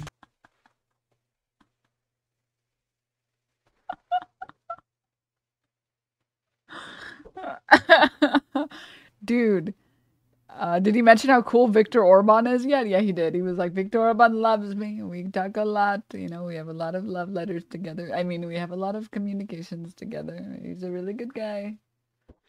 He's a really good guy. He gets a really bad message. man, dude, man. Christ, holy. Oh. All right, we can watch a little bit more. To be honest, this section of the debate is uh, there's not that much in the last what is this? Uh 10 to 40 30 minutes. This 30 minutes has not that much in it. Um but we can try a little bit and then depending on I forget how good the statements are. But depending on the statements, we can uh we can watch something else and then Philadelphia, Pennsylvania. Here again, David Muir and Linsey Davis. Welcome back to this historic ABC News presidential debate tonight. We're going to continue here, and I want to turn to the war in Ukraine. We're now two and a half years uh, into this conflict. Mr. President, it has been the position of the Biden administration that we must defend Ukraine from Russia, from Vladimir Putin, to defend their sovereignty, their democracy, that it's in America's best interest to do so, arguing that if Putin wins, he may be emboldened to move even further into other countries. You have said you would solve this war in 24 hours. You said so just before the break tonight. How exactly would you do that? And I want to ask you a very simple question tonight. Do you want Ukraine to win this war? I want the war to stop. I want to save lives that are being uselessly, people being killed by the millions. It's the millions. It's so much worse than the numbers that you're getting, which are fake numbers. All he had to do was yes. Say yes. Do you want Ukraine to win? Just say yes. Just say yes. Look, we're in for 250 billion or more because they don't ask Europe, which is a much bigger beneficiary to getting this thing done than we are. They're in for 150 billion dollars less because Biden and you don't have the courage to ask Europe like I did with NATO. They paid billions and billions, hundreds of billions of dollars Hundreds when I said billions either you pay up or we're not going to protect you anymore. So that's maybe one of the reasons I don't like me as much as they like weak people. But you take a look at what's happening. We're in for 250 to 275 billion. They're into 100 to 150. They should be forced to equalize. With that being said, I want to get the war settled. I know Zelensky very well and I know Putin very well. I have a good relationship and they respect your president, okay? They respect me. They don't respect Biden. How would you respect him? Why? For what reason? He hasn't even made a phone call in two years to Putin, hasn't spoken to anybody. They don't even try and get it. That is a war that's dying to be settled. I will get it settled before I even become president. If I win, That's pretty incredible. He, he'll get it settled before he even becomes president. when I'm president elect. And what I'll do is I'll speak to one, I'll speak to the other, I'll get them together. That war would have never happened. And in fact, when I saw Putin after I left, unfortunately left because our, our country has gone to hell. But after I left, when I saw him building up soldiers, he did it after I left. I said, oh, he must be Oh. negotiating. It must be a good, Oh. strong point of negotiation. Well, it wasn't because Biden had no idea how to talk to him. He had no idea how to stop it. And now you have millions of people dead, and it's only getting worse, and it could lead to World War III. Don't kid yourself, David. We're playing with World War III, and we have a president that we don't even know if he's. Where is our president? We don't even know if he's a president. and just to clarify they here- threw him out of a campaign like a dog. We don't even know. Is he our president? But we have a president, Mr. President- that doesn't know he's alive. Your time is up. And Just to clarify in the question, do you believe it's in the U.S. best interest for Ukraine to win this war? Yes or no? I think it's the U.S. best interest to get this war finished and f- just get it done. All right. Negotiate a deal because we have to stop all of these human lives Human from being lives. destroyed. I want to take this to Vice President Harris. I want to get your thoughts on uh, support for Ukraine in this moment, but also as Commander in Chief, if elected, how would you deal with Vladimir Putin, and would it be any different from what we're seeing from President Biden? Well, first of all, it's important to remind the former president you're not running against Joe Biden, you're running against me. I believe the oh, reason oh, that Donald Trump oh. says that this war would be over within 24 hours is because he would just give it up. And that's not who we are as Americans. Let's understand what happened here. Um, I actually met with Zelensky a few days before Russia invaded, tried through force to change territorial boundaries, to defy one of the most important international rules and norms, which is the importance of sovereignty and territorial integrity. And I met with President Zelensky. I shared with him American intelligence about how he could defend himself. Days later, I went to NATO's eastern flank, to Poland and Romania. And through the work that I and others did, we brought 50 countries together to support Ukraine in its righteous defense. And because of our support, because of the air defense, the ammunition, the artillery, the javelins, the Abrams tanks that we have provided, Ukraine stands as an independent and free country. If Donald Trump were president, Putin would be sitting in Kiev right now. And understand what that would mean, because Putin's agenda is not just about Ukraine. Understand why the European allies and our NATO allies are so thankful that you are no longer president and that we understand the importance of the greatest military alliance the world has ever known, which is NATO, and what we have done to preserve the ability of Zelensky and the Ukrainians to fight for their independence. Otherwise, Putin would be sitting in Kiev with his eyes on the rest of Europe, starting with Poland. And why don't you tell the 800,000 Polish Americans right here in Pennsylvania how quickly you would give up for the sake of favor and what you think is a friendship with what is known to be a dictator who would eat you for lunch? Vice President Harris, thank you. I love you. No, he would never eat me for lunch. I'm far too calorie dense to be eaten in one meal. We've heard from both of you on Ukraine tonight. Afghanistan came up in the last hour. I, I wanted her to respond to something you said earlier, and I'll, please, I'll, I'll give you a minute here. Putin would be sitting in Moscow, and he wouldn't have lost 300,000 men and women, but he would have been sitting in Moscow. Quiet, please. Quiet, he would have been please. sitting Quiet, in Moscow, much happier than he is right now. But eventually, you know, he's got a thing that other people don't have. He's got nuclear weapons. They don't ever talk about that. He's got nuclear weapons. Nobody ever thinks about that. And eventually, uh, maybe he'll use them, and maybe he hasn't been that threatening, but he does have that. Something we don't even like to talk about. Nobody likes to talk about it. But just so you understand, they sent her to negotiate peace before this war started. Three days later, he went in and he started the war because everything they said was weak and stupid. They said the wrong things. That war should have never started. She was the emissary. They sent her in to negotiate with Zelensky and Putin, and she did. And the war started three days later. Vice And that's the kind of talent we have with her. She's worse than Biden. In my opinion, I think he's the worst president in the history of our country. She goes down as the worst vice president in the history of our country. But let me tell you something she is a horrible negotiator. They sent her in to negotiate. as soon as they left, Putin did the invasion. President Trump, thank you. You did bring up something. You- You said she went to negotiate with Vladimir Putin. Vice President Harris, have you ever met Vladimir Putin? Can you clarify tonight? Yet again, I said it at the beginning of this debate, you're going to hear a bunch of lies coming from this fellow. And that is another one. When I went to meet with President Zelensky, I've now met with him over five times. The reality is, it has been about standing as America always should, as a leader upholding international nu- rules and norms, as a leader who shows strength, understanding that the alliances we have around the world are dependent on our ability to look out for our friends and not favor our enemies because you adore strongmen instead of caring about democracy.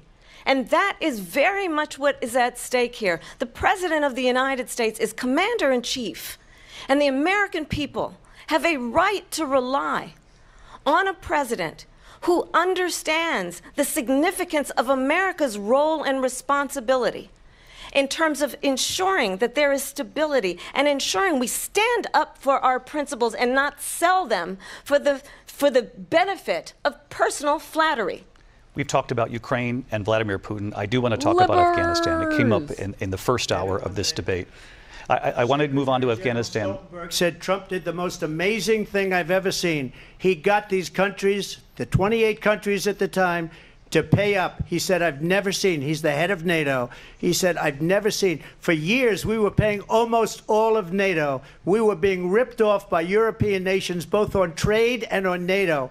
I got them to pay up by saying one of the statements you made before if you don't pay, we're not going to protect you. President Otherwise, we would have never gotten it. He said it was one of the most incredible jobs that he's ever seen done. Thank you. I want to turn to Afghanistan. It came up in the first hour of the debate, and we witnessed a, a poignant moment today on Capitol Hill honoring the soldiers who died in the chaotic withdrawal from Afghanistan. I do want to ask the Vice President uh, do you believe you bear any responsibility in the way that withdrawal played out?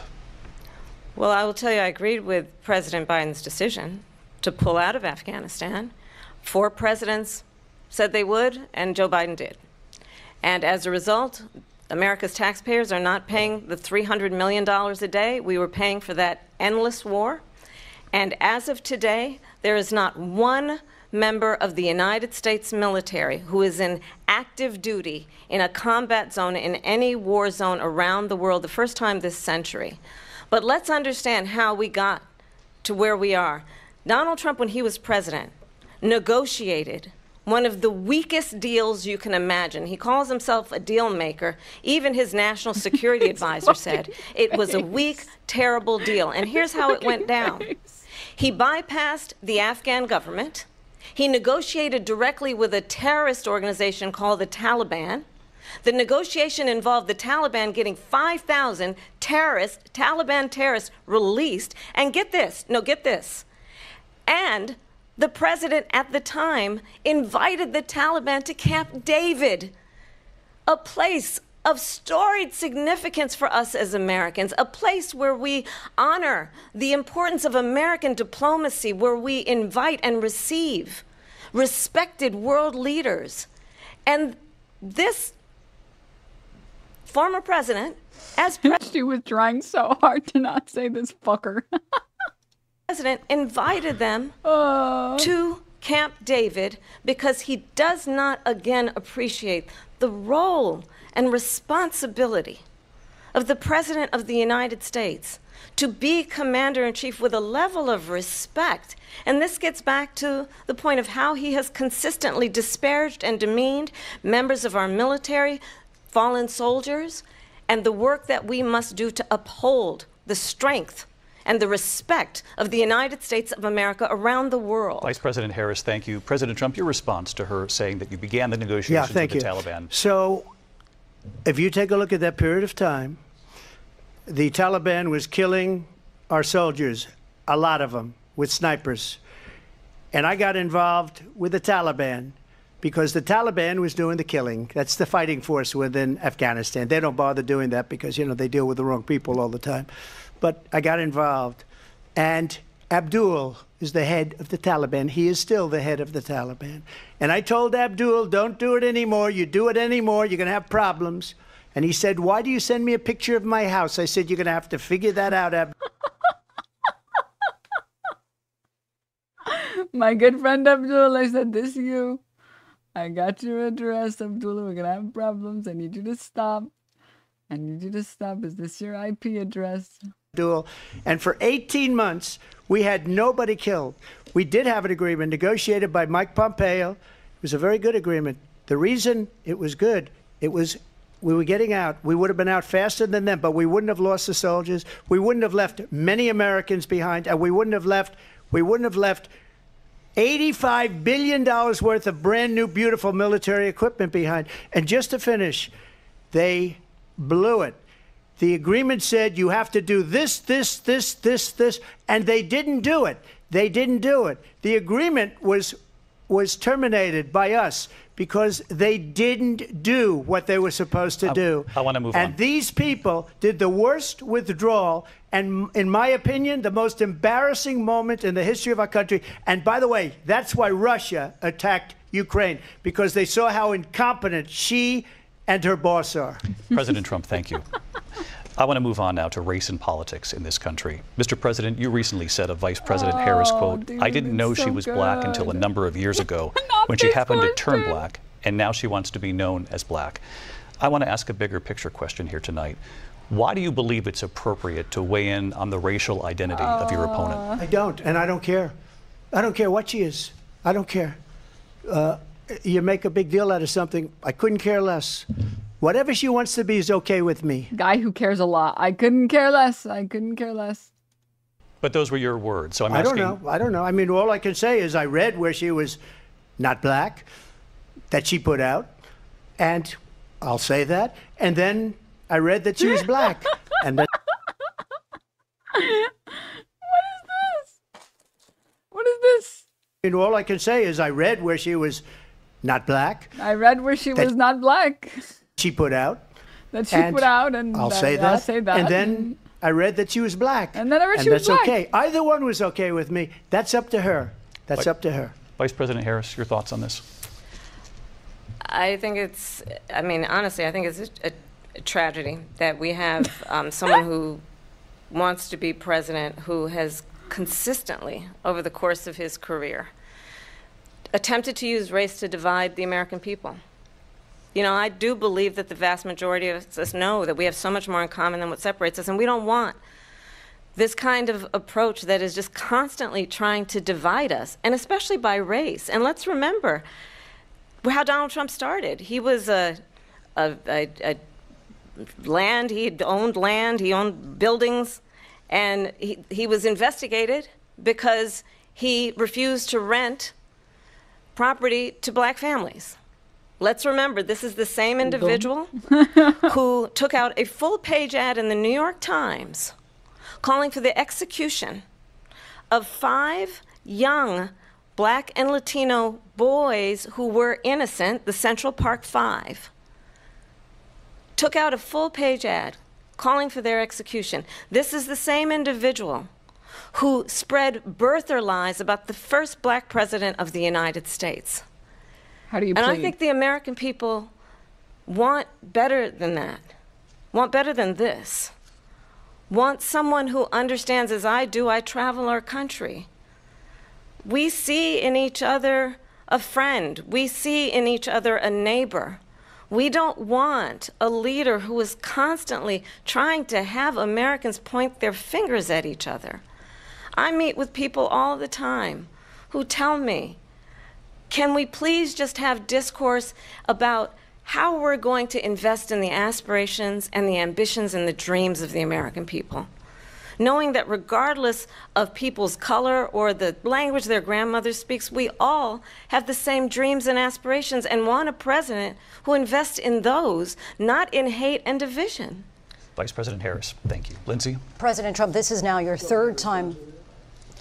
This is the most divisive presidency in the history of our country. There's never been anything like it. They're destroying our country, and they come up with things like what she just said. Going back many, many years, when a lot of people, including Mayor Bloomberg, agreed with me on the Central Park Five, they admitted, they said, they pled guilty.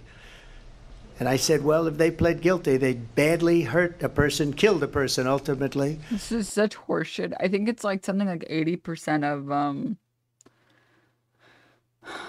cases that end up in, in court end with uh, guilty pleas because you want the plea deal. And if they pled guilty, then they pled, we're not guilty. But this is a person that has to stretch back years, 40, 50 years ago, because there's nothing now. I built one of the greatest economies in the history of the world, and I'm going to build it again. It's going to be bigger, better, and stronger. But they're destroying our economy. They have no idea what a good economy is. Their oil policies, every single policy. And remember this she is Biden. You know, she's trying to get away from Biden. I don't know the gentleman, she says. She is Biden. I don't know the gentleman, she says. I don't know if Kamala has ever said that, actually. I don't know if Kamala has ever said, I don't know Biden. I don't know him. She is Biden. The worst inflation we've ever had, a horrible economy because inflation has made it so bad, and she can't get away with that. Thank you. Your time is up, I, Linsey. want to respond to that, though. I want to just respond briefly. Clearly, I am not Joe Biden, and I am certainly not Donald Trump. And what I do offer is a new generation of leadership for our country one who believes in what is possible, one who brings a sense of optimism about what we can do mm-hmm. instead of always Sounds like something Biden would say. Was disparaging the American people. I believe in what we can do to strengthen our small businesses, which is why I have a plan. Let's talk about our plans and And let's compare the plans. I have a plan to give startup businesses $50,000 tax deduction to pursue their ambitions, their innovation, their ideas, their hard work. I have a plan, $6,000 for young families for the first year of your child's life to help you in that most critical stage of your child's development. I have a plan that is about allowing people to be able to pursue what has been fleeting in terms of the American dream by offering a help with down payment of $25,000 down payment assistance for first-time home buyers. That's the kind of conversation I believe, David, that people really want tonight, as opposed to a conversation that is constantly about belittling and name calling. Let's turn the page Vice President and move Harris, forward. thank you. Let's turn to policy. President Let's Trump, turn we back to have policy. to move on. President Trump, Let's turn to policy, She has please. a plan to defund the police. She has a fla- plan to confiscate everybody's gun. President Trump, she we has do a have to plan move to not allow issues. fracking in Pennsylvania or anywhere else. Okay. Thank That's Mr. what her plan is until just recently. I, I just need Linsey, to respond President because Trump- no, the, President the former Trump- president has said No, something sorry. twice that I need to No, respond I'm, to. I'm sorry. We're going to we're going to move on, Vice one President time Harris. to what he President has said Trump, this multiple is now your Yes. third time running for president. You have long vowed ah. to repeal and replace the Affordable Care Act, also known as Obamacare. You have failed to accomplish that. You now say you're going to keep Obamacare, quote, unless we can do something much better. Last month you said, quote, we're working on it. So tonight, nine years after you first started running, do you have a plan and can you tell us what it is? Obamacare was lousy health care, always was. It's not very good today. And what I said that if we come up with something, and we are working on things, we're going to do it and we're going to replace it. But remember this I inherited Obamacare because Democrats wouldn't change it. They wouldn't vote for it. They were unanimous. They wouldn't vote to change it. If they would have done that, we would have had a much better plan than Obamacare. But the Democrats came up, they wouldn't vote for it. I had a choice to make when I was president. Do I save it and make it as good as it can be, never going to be great, or do I let it rot? And I felt I had an obligation, even though politically it would have been good to just let it rot and let it go away. I decided, and I told my people, the top people, and they're very good people. I have a lot of good people in this that administration. we read about the bad ones. We had some real bad ones too, and so do they. They have really oh. bad ones. The difference is they don't get rid of them. But let me just explain. I had a choice to make. Do I save it and make it as good as it can be, or do I let it rot? And I saved it. I did the right thing. But it's still never going to be great, and it's too expensive for people. And what we will do is we're looking at different plans. If we can come up with a plan that's going to cost our people, our population, less money and be better health care than Obamacare, then I would absolutely do it. But until then, I'd run it as good as it can be run. So, just a yes or no, you still do not have a plan. I have concepts of a plan. I'm not president right now. But I have concepts of a plan. if we come up with something, I would only change it if we come up with something that's better and less expensive. And there are concepts and options we, we have to do that. And you'll be hearing about it in the not too distant future. Vice President Harris, in 2017, you supported Bernie Sanders' proposal to do away with private insurance and create a government run healthcare system. Two years later, you proposed a plan that included a private insurance option. What is your plan today? Well, first of all, I absolutely support, and over the last four years as vice president, private healthcare options. But what we need to do is maintain and grow the Affordable Care Act. But I, I'll, I'll get to that, Linsey. I just need to respond to a previous point that the former president has made. I've made very clear my position on fracking, and then this business about taking everyone's guns away. Tim Walz and I are both gun owners. We're not taking anybody's guns away. So stop with the continuous lying about this stuff. As it relates to the I have to say the idea of saying she's going to take everyone's guns away, interesting, bold idea. Don't think it played out the way that he wanted it to. the Affordable Care Act, understand, let, just look at the history to know where people stand. When Donald Trump was president, 60 times he tried to get rid of the Affordable Care Act. 60 times. I was a senator at the time when I will never forget the early morning hours when it was up for a vote in the United States Senate.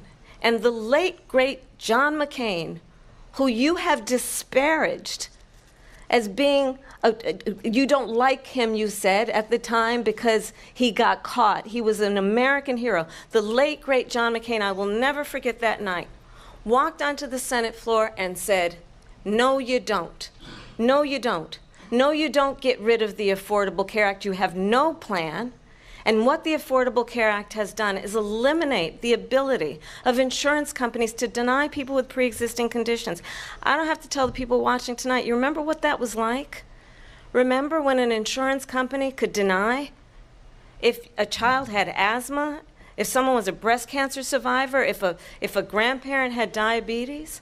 And thankfully, as I've been vice president, and we over the last four years have strengthened the Affordable Care Act, we have allowed for the first time Medicare to negotiate drug prices on behalf of you, the American people. Donald Trump said he was going to allow Medicare to negotiate pri- drug prices. He never did. We did.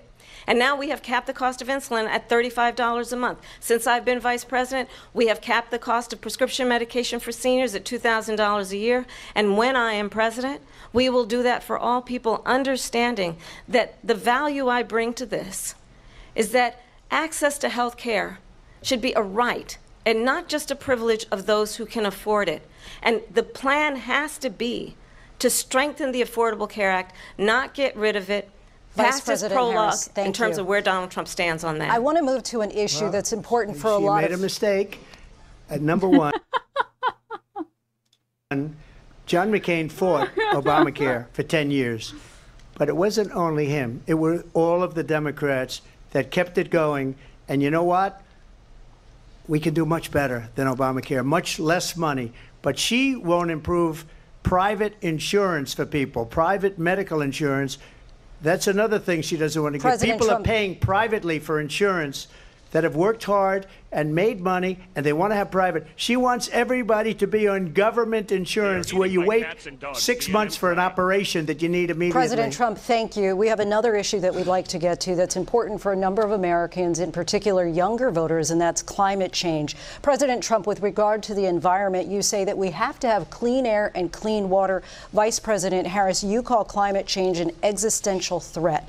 The question to you both tonight is what would you do to fight climate change? And Vice President Harris, we'll start with you. One minute for you each. Well, the former president had said the climate change is a hoax. And what we know is that it is very real. You ask anyone who lives in a state who has experienced these extreme weather occurrences, who now is either being denied home insurance or it's being jacked up. You ask anybody who has been um, the victim of what that means in terms of losing their home, having nowhere to go. We know that we can actually deal with this issue. The young people of America care deeply about this issue. And I am proud that as vice president over the last four years, we have invested a trillion dollars in a clean energy economy while we have also increased domestic gas production to historic levels. We have created over 800,000 new manufacturing jobs while I have been vice president. We have invested in clean energy to the point that we are opening up factories around the world. Donald Trump said he was going to create manufacturing jobs. He lost manufacturing jobs. And I'm also proud to have the endorsement of the United Auto Workers and Shawn Fain, who also know that part of building a clean energy economy includes investing in American made products, American automobiles. It includes growing what we can do around American manufacturing and opening up auto plants, not closing them like happened under Donald Trump. Vice President Harris, thank you. That didn't happen under Donald Trump. Let me just tell you, they lost 10,000 manufacturing jobs this last month. It's going, they're all leaving. Uh, they're building big auto plants in Mexico, in many cases owned by China. They're building these massive plants, and they think they're going to sell their cars into the United States because of these people. What they have given to China is unbelievable. But we're not going to let that. We'll put tariffs on those cars so they can't come into our country because they will kill the United Auto Workers and any auto worker, whether it's in Detroit or South Carolina or any other place. What they've done to business and manufacturing in this country is horrible. We have nothing because they, they refuse. You know, Biden doesn't go after people because supposedly China paid him millions of dollars. He's afraid to do it between him and his son. They get all this money from Ukraine. They get all this money from all of these different countries. And then you wonder why is he so loyal to this one, that one, Ukraine, China? Why is he? Why did he get three and a half million dollars from the mayor of Moscow's wife? Why did he get why did she pay him three and a half million dollars? This is a crooked administration, and they're selling our country down the tubes. President Trump, thank you. Thank you. We'll be right back with closing statements from both of our candidates. An historic night, this ABC News presidential debate from Philadelphia. Back in a moment. Oh my God. Oh my God. The ABC News presidential debate will continue after this. Live from the National This is just Constitution like amazing, dude. Center in Philadelphia, Pennsylvania. I'm glad I chose to stream today, even though today is a Wednesday. This is amazing. Here again, David Muir and Linsey Davis. Welcome back tonight. The time has come for closing statements, and Vice President Harris, we begin with you. So I think you've heard tonight two very different visions for our country. One that is focused on the future, and the other that is focused on the past, and an attempt to take us backward. But we're not going back. And I do believe that the American people know we all have so much more in common than what separates us. And we can chart a new way forward. And a vision of that includes having a plan, understanding the aspirations, the dreams, the hopes, the ambition of the American people, which is why I intend to create an opportunity economy, investing in small businesses, in new families, in what we can do around protecting seniors, what we can do that is about giving hardworking folks a break and bringing down the cost of living. I believe in what we can do together that is about sustaining America's standing in the world and ensuring that we have the respect that we so rightly deserve, including respecting our military and ensuring we have the most lethal fighting force in the world. I will be a president that will protect our fundamental rights and freedoms, including the right of a woman to make decisions about her own body and not have her government tell her what to do. I'll tell you, I started my career as a prosecutor. I was a DA, I was an attorney general, a United States senator, and now vice president. I've only had one client the people. And I'll tell you, as a prosecutor, I never asked a victim or a witness, Are you a Republican or a Democrat? The only thing I ever asked them, Are you okay? And that's the kind of president we need right now someone who cares about you and is not putting themselves first. I intend to be a president for all Americans and focus on what we can do over the next 10 and 20 years to build back up our country by investing right now in you, the American people. Vice President Harris, thank you. President Trump? So she just started by saying she's going to do this, she's going to do that, she's going to do all these wonderful things. Why hasn't she done it? She's been there for three and a half years. They've had three and a half years to fix the border. They've had three and a half years to create jobs and all the things we talked about. Why hasn't she done it?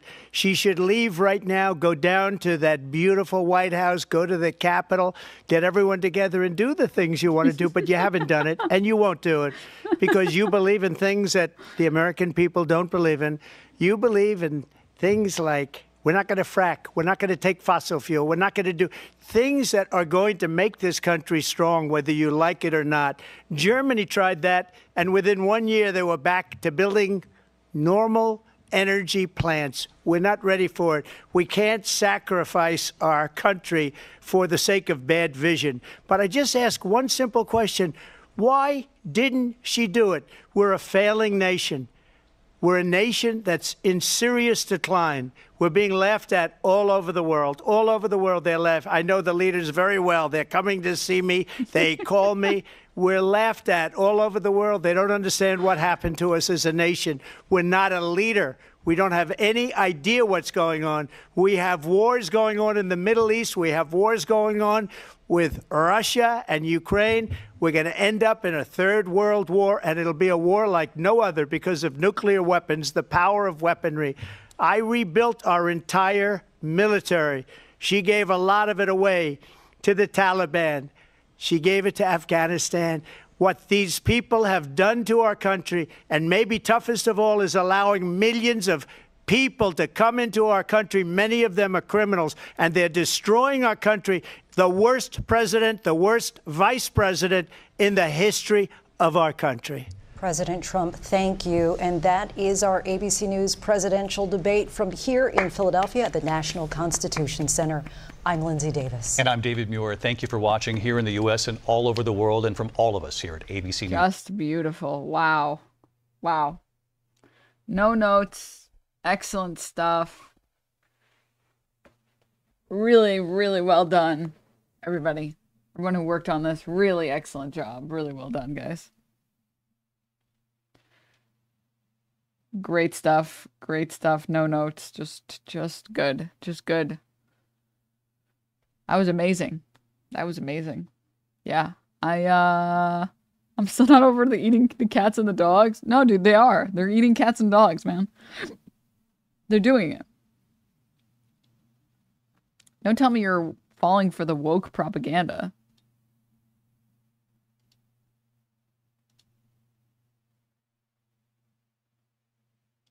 Don't, don't tell me you're falling for woke propaganda.